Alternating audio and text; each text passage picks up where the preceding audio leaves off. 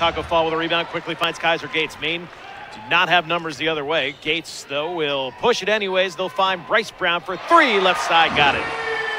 Alexander Walker will find Brown. Brown is up, no good. He thought he was fouled by Tacko, doesn't get the call. And the Red Claws quickly the other way. It's Brown.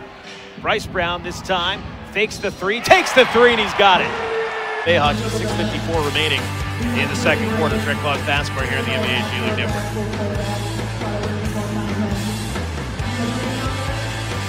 Bayhawk gods to get to the rim. Cheatham for three, hits the back iron, no good. Rebound Bryce Brown.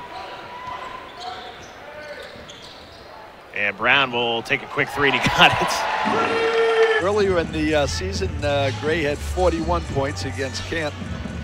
Has had 42, two triple doubles. Beautiful pass inside to a cutting Jay Sean Page for two.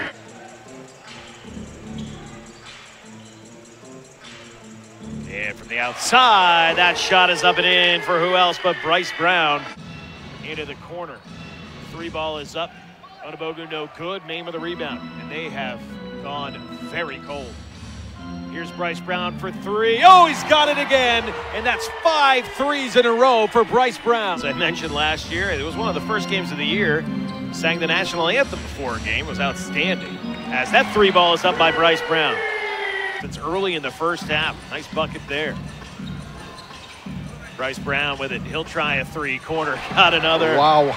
Bryce Brown, one of the best scorers in this league. It's just that they run into a buzzsaw here.